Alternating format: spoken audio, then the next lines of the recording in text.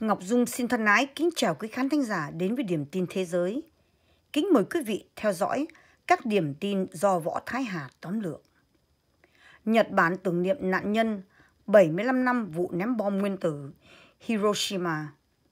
Năm 2020, Nhật Bản tưởng niệm nạn nhân Hiroshima trong bối cảnh đại dịch COVID-19.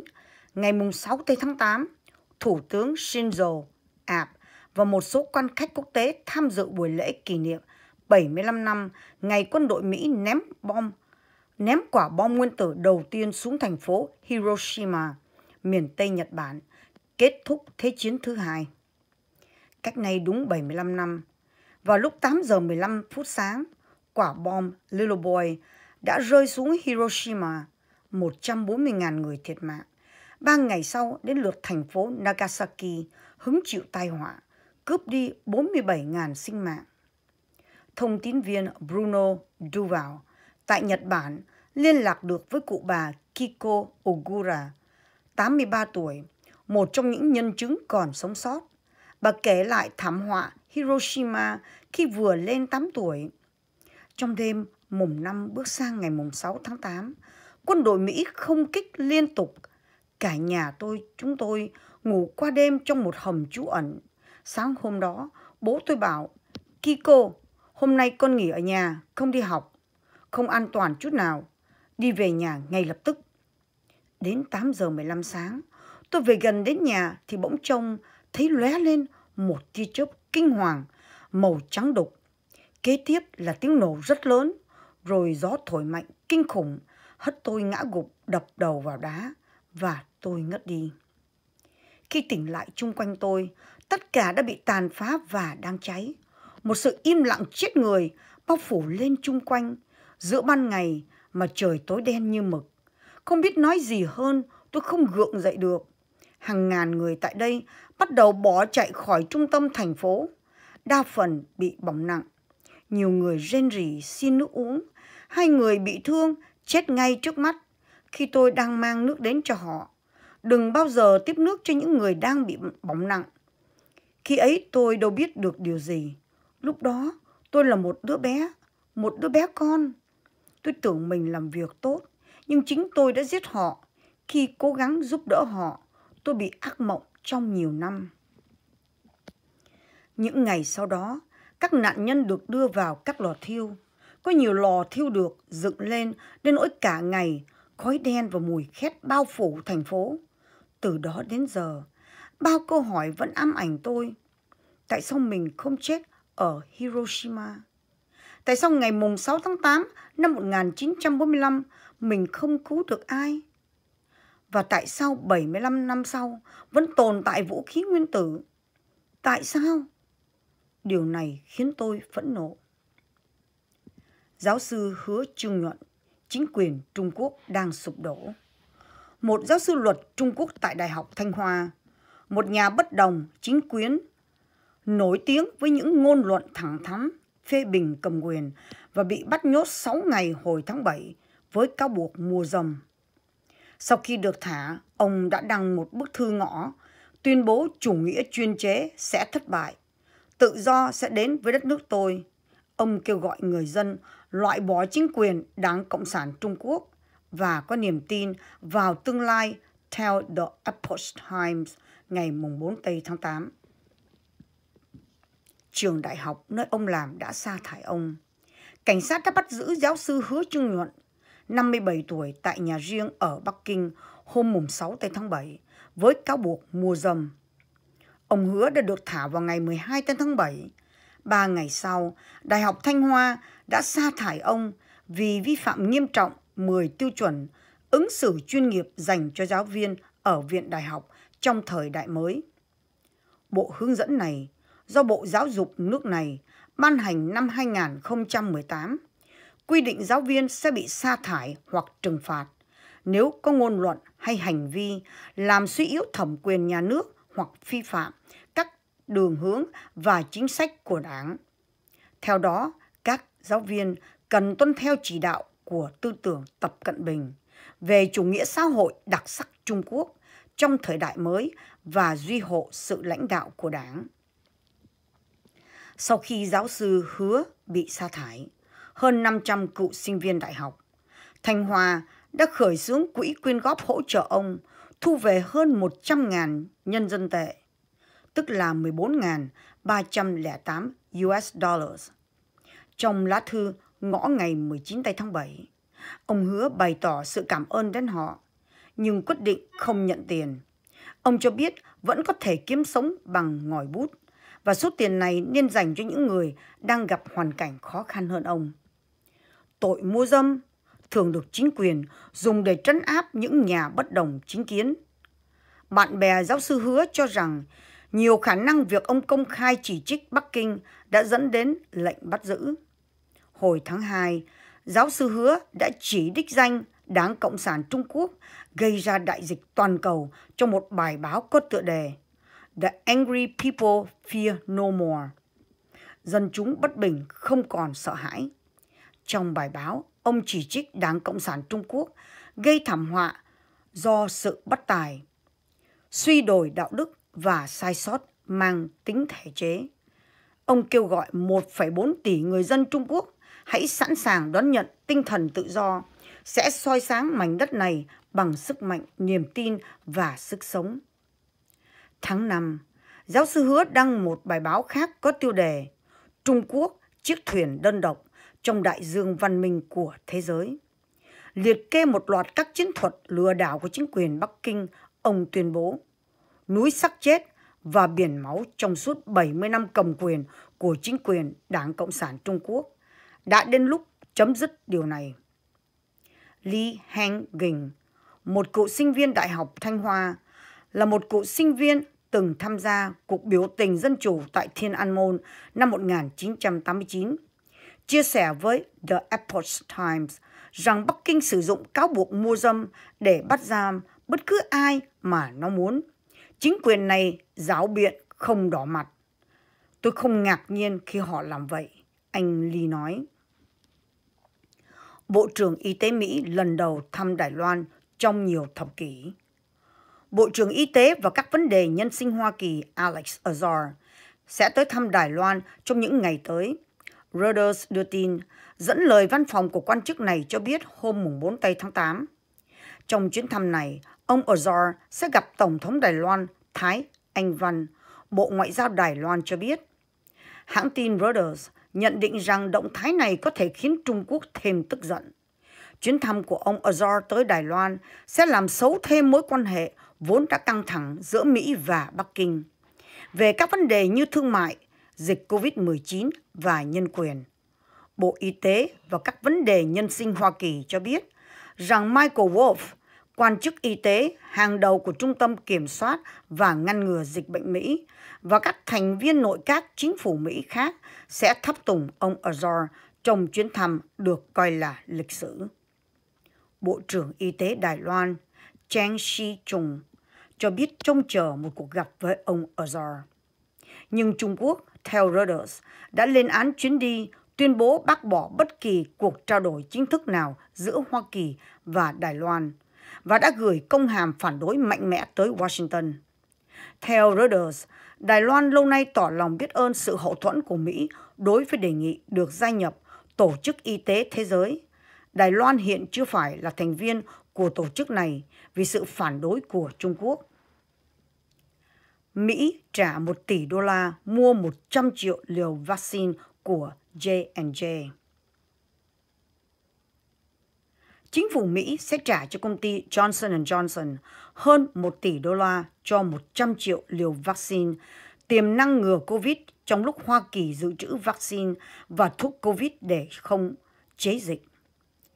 Hợp đồng mới nhất có giá khoảng 14,5 đô la một liều vaccine – trong đó có 456 triệu đô la trước đây mà chính phủ Mỹ hứa cấp cho Johnson Johnson để chế tạo vaccine hồi tháng 3 năm nay. Giá hợp đồng mỗi liều Mỹ trả cho vaccine do Pfizer của Mỹ và BioNTech của Đức hợp tác sản xuất là 19,50 đô la. Johnson Johnson hiện đang nghiên cứu cả hai dạng, một liều và hai liều vaccine. Ứng viên vaccine của Pfizer và BioNTech đều đòi hỏi mỗi cá nhân cần tiêm hai liều. Chính phủ Mỹ cũng có thể mua thêm 200 triệu liều theo một thỏa thuận tiếp theo. Johnson Johnson không tiết lộ trị giá thỏa thuận đó.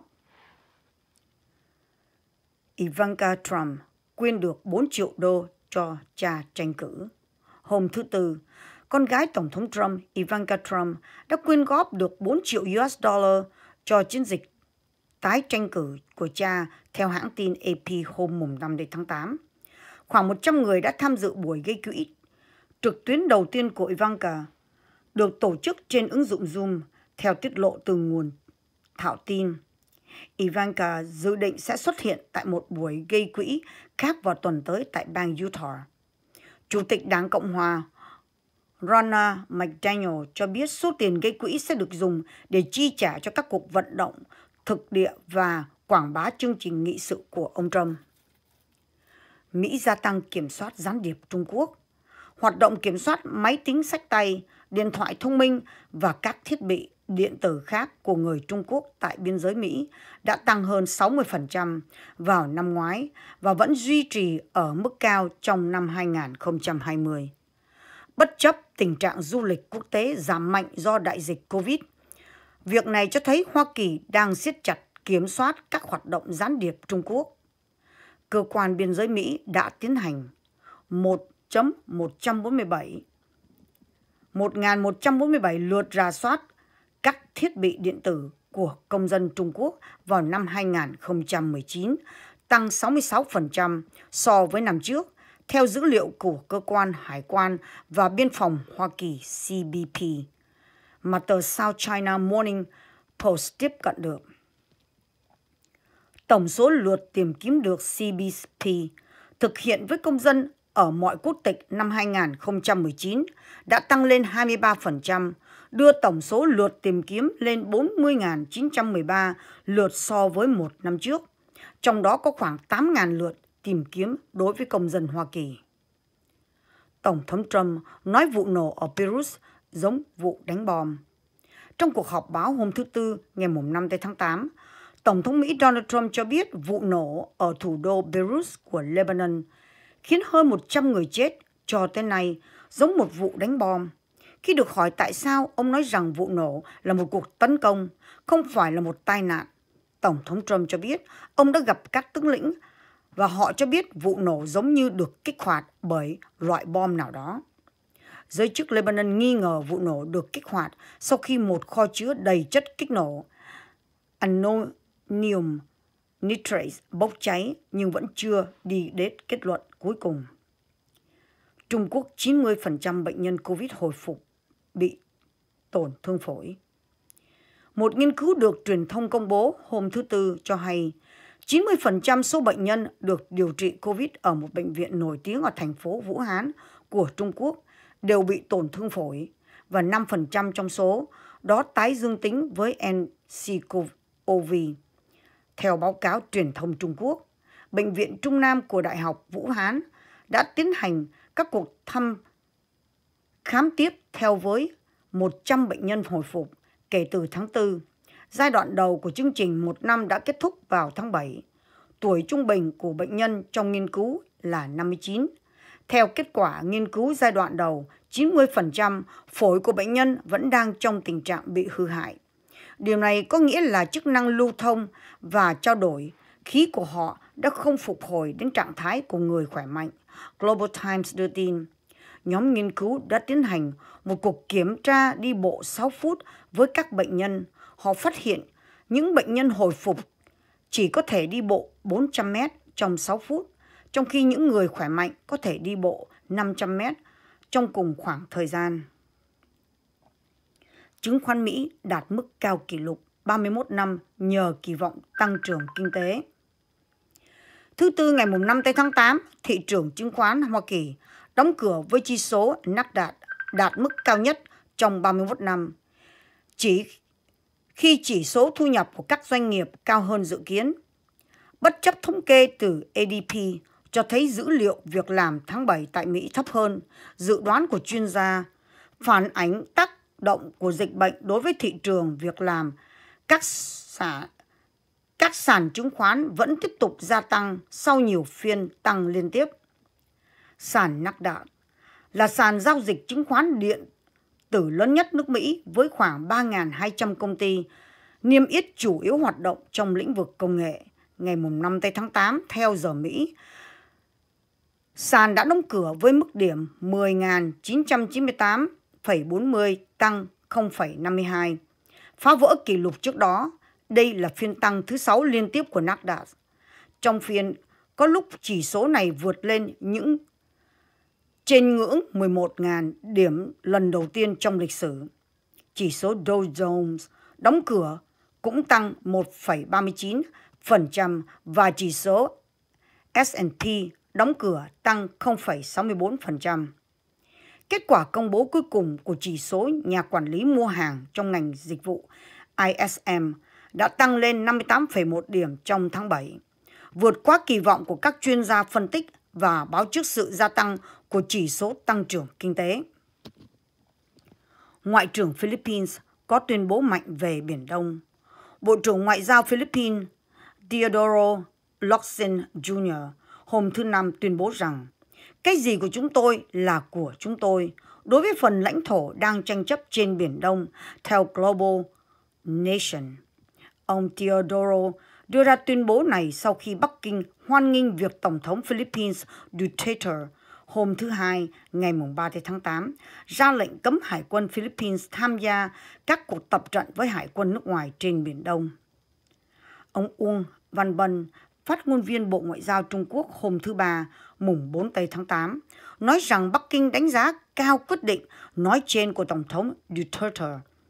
Tuy nhiên, hôm nay trên Twitter, ông Diodoro viết rằng ông Uông đang suy diễn quá xa về một chỉ thị đơn giản của Tổng thống Duterte.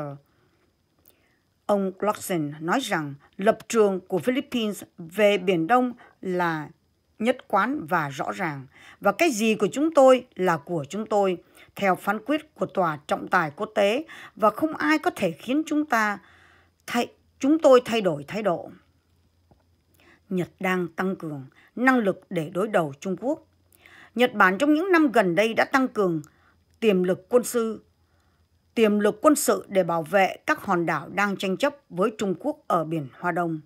Một báo cáo mới của chuyên gia Mỹ đánh giá trong bối cảnh Bắc Kinh không ngừng gia tăng các hoạt động quân sự ở vùng biển này theo SCMT Phân tích từ Trung tâm Nghiên cứu Chiến lược và Quốc tế CSIS của Mỹ cho thấy Tokyo đã nâng cấp radar, tăng cường thu nhập thông tin tình báo và tuần tra quần đảo Senkaku và Bắc Kinh gọi là Điếu Ngư, đồng thời triển khai tên lửa để bảo vệ quần đảo đang tranh chấp này.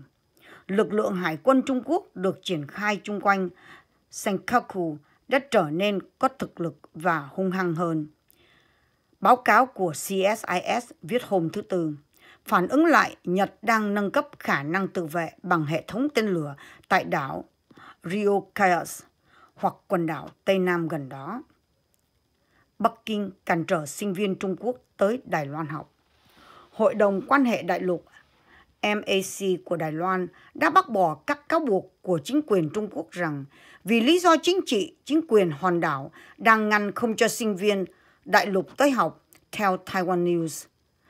MAC nói rằng, ngược lại chính Bắc Kinh mới là lực lượng đang ngăn cấm sinh viên Trung Quốc tới Đài Loan. Theo một thông báo Thông cáo báo chí của MAC hôm thứ Tư, chính quyền Trung Quốc đã từ chối đề nghị được tới Đài Loan học tập của sinh viên đại lục. Giới chức Trung Quốc làm vậy vì không đồng ý với việc các trường đại học ở Đài Loan đã sử dụng từ quốc gia trong các tài liệu của trường mà sinh viên Trung Quốc muốn tới học.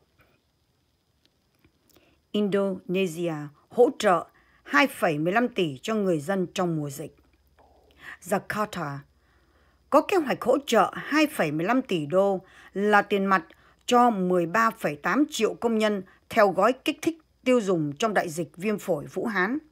Reuters dẫn nguồn từ các quan chức Indonesia. Theo đó, các công nhân có mức thu nhập dưới 5 triệu rupiah, tương đương 343,64 đô la, sẽ nhận được mức hỗ trợ 41 đô la một tháng, bắt đầu thứ th thứ bắt đầu tháng 9 tới. Chính sách hỗ trợ này dự kiến kéo dài trong 4 tháng. Chính phủ Indonesia hôm thứ Tư, mùng 5 tháng 8 cho hay GDP một nước này đã giảm 5,32% trong quỹ 2 do ảnh hưởng lớn từ mức tiêu dùng hộ gia đình vốn bị suy giảm rất nhiều vì đại dịch COVID. So với cùng kỳ năm ngoái, mức tiêu dùng của các hộ gia đình ở Indonesia đã giảm 5,51%. Chính phủ nhắm mục tiêu tăng thu nhập cho người dân để kích thích tiêu dùng hộ gia đình. Đây là điều rất quan trọng để thúc đẩy và cải thiện chất lượng nền kinh tế. Ông Eric Thohir, Bộ trưởng các doanh nghiệp thuộc sở hữu nhà nước nói. Bắc Hàn phê duyệt gói hỗ trợ thành phố phong tỏa vì Covid. Lãnh đạo Bắc Hoàn Kim Jong-un đã ra lệnh hỗ trợ đặc biệt thành phố Kaesong nằm giáp biên giới Hàn Quốc đang bị phong tỏa vì dịch viêm phổi Vũ Hán. Hãng thông tấn nhà nước Triều Tiên KCNA đưa tin hôm thứ Năm, ngày 6 tháng 8. Tuần trước, Triều Tiên đã tuyên bố tình trạng khẩn cấp và cho biết họ đã phong tỏa thành phố Kaesong vì có một kẻ bỏ trốn bị nghi nhiễm virus Vũ Hán trở về từ Hàn Quốc. Nhiều chuyên gia nước ngoài cảnh báo dịch viêm phổi Vũ Hán bùng phát tại Triều Tiên lần này có thể gây hậu quả nghiêm trọng vì quốc gia bí ẩn này có điều kiện kinh tế và y tế yếu kém. Kính thưa quý khán thính giả, chương trình Điểm tin thế giới đến đây xin kết thúc. Ngọc Dung xin thân ái tạm biệt quý vị, hẹn lại quý vị trong kỳ tới. Kính chúc quý vị và toàn thể gia đình một ngày an khang và thịnh vượng.